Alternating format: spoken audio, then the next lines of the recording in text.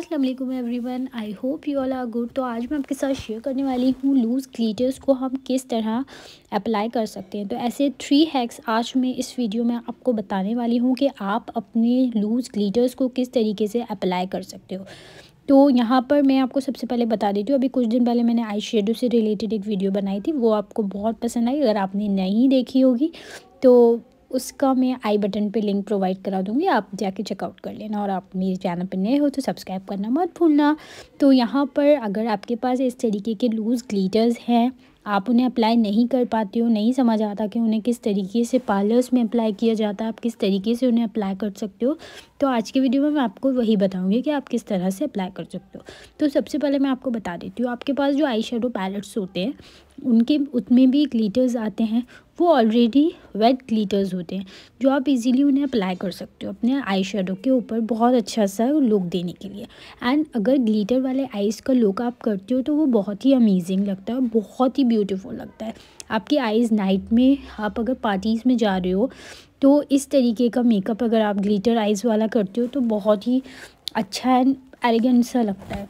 और ख़ास तौर से जो ब्राइडल्स होती है, उनके लिए इस तरीके के ग्लीटर्स जो होते हैं, वो यूज़ करे जाते हैं और बहुत अच्छे लगते हैं। तो ये तो हो गई हमारे जो वेट ग्लीटर्स होते हैं, हमारे जो पैलेट्स में आते हैं, उन्हें तो आप इजीली इस तरीके से लगा सकते हो और वो बहुत प्यारे लगते हैं, आप सब भी जानते हैं। बस बात ये है कि ये जो हमारे लूज़ ग्लीटर्स होते हैं, आप उन्हें किस तरीके से अप्लाई कर सकते हो। तो ऐसे थ्री हैक्स हैं, जो आज मैं आपको बताऊँगी। ठीक है? तो पहला है, मैं आपको बताऊँगी कि आप किस तरह से अपने लूज़ ग्लीटर्स को अप्लाई करोगे। तो मेरे पास ये सारे लूज़ ग्लीटर्स हैं, ये मैंने अपने लोकल मार्केट से परचेज़ किए थे और काफ़ी टाइम से रखे हुए थे। मैं भी इन्हें नहीं लगा रही थी जब मैंने इन हैक्स को ट्राई किया और ये काफ़ी लॉन्ग लास्टिंग रहे तो मैंने इन्हें ट्राई करना शुरू कर दिया। तो पहले स्टेप में आपके पास कोई भी लिप बाम होगा, इस तरीके का ट्रांसपेरेंट आपके पास कोई लिप बाम होगा या कोई पिंक में भी लिप बाम हो जस्ट आपने अपने आइज़ पे उसे लगाना है। एंड उसके ऊपर आपने अपना ग्लीटर लेना है।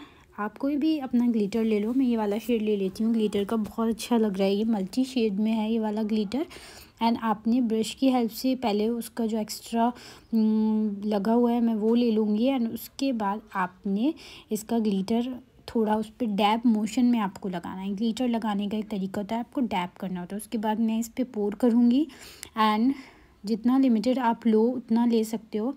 आपने अपने हैंड पे ले लेना है एंड उसके बाद इस तरीके से लेना है और अपने आइस पे इस तरीके से आपको डैब डैब मोशन में इसे फ़िक्स करना है, ठीक है ना? और ये अच्छे से ग्लीटर बहुत अच्छे से फिक्स हो जाता है इससे और हटता भी नहीं है। जो एक्स्ट्रा है, आप उसे डस्ट ऑफ़ कर लेना। जितना एक्स्ट्रा होगा, वो सब हट जाएगा, बाकी का लगा रह जाएगा। तो ये आइस पे आप लगाओगे आई मेकअप जब हम करेंगे तो बहुत अच्छा लगता है, ठीक है ना? आप इसे, अगर आपके पास आप लिप बाम ना यूज़ करना चाहो तो आप थर्ड ऑप्शन सेकंड ऑप्शन में वैसलीन का यूज़ भी कर सकते हो, जो नॉर्मल ओरिजिनल हमारी वैसलीन होती है, आप उसको भी यूज़ कर सकते हो। मेरे पास अभी वो है नहीं, वरना मैं आपको ज़रूर दिखाती ट्राई करके। तो सेकंड हैक में आप अपना वैसलीन को अपने आइस पे अप्लाई करना है एंड उसके बाद अपना लूज़ ग्लीटर लेना है और उसे अपनी आइज़ पे लगा लेना है। ठीक है ना? इस तरीके से आप अपना लूज़ ग्लीटर अप्लाई कर सकते हो।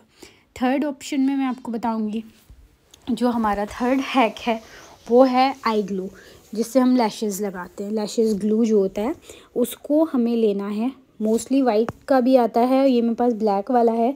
वाइट वाला भी आता है। आपने जस्ट उसे भी लेना है। इस तरीके से आपको डैप करना है, उसे अच्छे से मसाज कर लेना है। तो इसमें एक ग्लू टाइप का आपको एकदम चिपचिपापन जब महसूस होने लगेगा जब आपने अपनी ग्लीटर को इस पर अप्लाई करना है, उससे पहले अप्लाई नहीं करना है, क्योंकि वो एकदम से एक जगह जम जाएगी। आपने पहले अपनी फिंगर से उसे डैप करना है, उसके बाद ही इस तरीके से आपने अपनी ग्लीटर लेना है एंड ग्लीटर को लगा लेना है। ये तो मेरा हैंड है तो मैं इस तरीके से लगा रही हूँ बट अगर आप जब अपनी आइस पे लगाओगे तो आप ब्रश के ऊपर लेंगे और इस तरीके से डैबिंग मोशन में इसको आपने लगाना होगा, इस तरीके से। ये अच्छे से उस पर जाके स्टिक हो जाता है। एंड बहुत ही प्यारा लगता है। जितना आप लोगे ग्लीटर उतना ही आप उसको डैब डैब करना, वो अच्छे से जब फिक्स हो जाएगा और जितना भी एक्स्ट्रा होगा, उसे आप डस्ट ऑफ़ कर देना।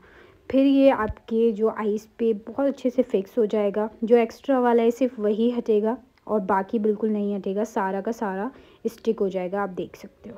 तो आप इस तरीके से अपना आई मेकअप अपने घर में ही कर सकते हो। बहुत ही ब्यूटीफुल एंड अमेजिंग लगता है। ठीक है ना? तो ये सारे हैक्स जो कि आज मैंने आपको तीनों हैक्स बताए, आपको पसंद आए हो तो वीडियो को लाइक ज़रूर करना। चैनल पर नए हो तो सब्सक्राइब करना मत भूलना।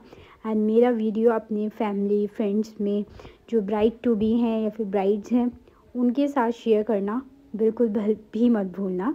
तो मिलते हैं हम अपने नेक्स्ट टॉपिक पे। तब तक के लिए एवरीवन अल्लाह हाफिज़।